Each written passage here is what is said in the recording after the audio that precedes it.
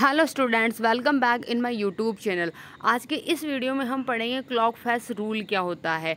ये रूल क्या बताता है? हमको ये मैग्नेटिक फ़ील्ड की डायरेक्शन को बताता है ये रूल तो ये रूल में क्या है? According to clock face rule if the current around the face of circular wire flows in the clockwise direction कि किसी भी वायर में, किसी भी लूप के अंदर जो करंट फ्लो हो रहा है, वो कैसी डायरेक्शन में हो रहा है? क्लॉक वाइज की डायरेक्शन में करंट फ्लो हो रहा है।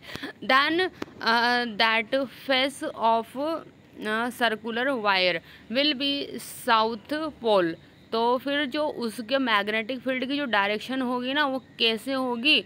वो एस पोल की तरफ़ होगी। And if the current around the face of circular wire flows in the anticlockwise अगर जो करंट है वो एंटी क्लॉक वाइज फ्लो रहा है तो जो फेस होगा सर्कुलर वायर का, वो कैसे होगा? वो नॉर्थ पोल होगा नॉर्थ साइड पे होगा। ये मतलब करंट क्लॉक वाइज बहेगा। तो कैसा होगा वो? एस पोल होगा और अगर एंटी क्लॉकवाइज बहेगा करंट तो वो क्या होगा? वो नॉर्थ पोल होगा। देखो, इसको कैसे समझ सकते हैं? हमने बना रखा है, एक लूप बना रखा है, ठीक है? अगर जब क्या होगा ये, कौन सी डायरेक्शन है? ये क्लॉकवाइज डायरेक्शन तो एस बनाएँगे। अब एस को घुमाएँगे ना तो इधर ही जाएगा ये।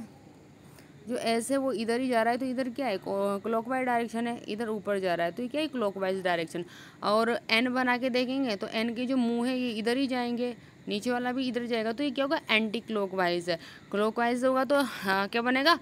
एस पोल बनेगा साउथ पोल और अगर एंटी क्लॉकवाइज होगा तो क्या बनेगा? वो नॉर्थ पोल बनेगा। तो इस वीडियो में बस इतना ही। इसके बाद मिलते हैं हम हमारे नेक्स्ट वीडियो में।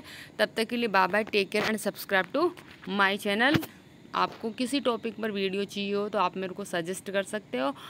I will try to do my best